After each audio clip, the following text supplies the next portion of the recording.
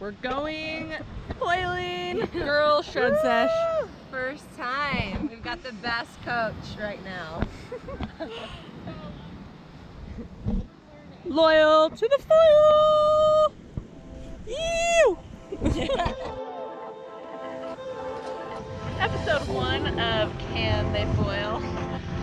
Taking the girls out for a foil, but I'm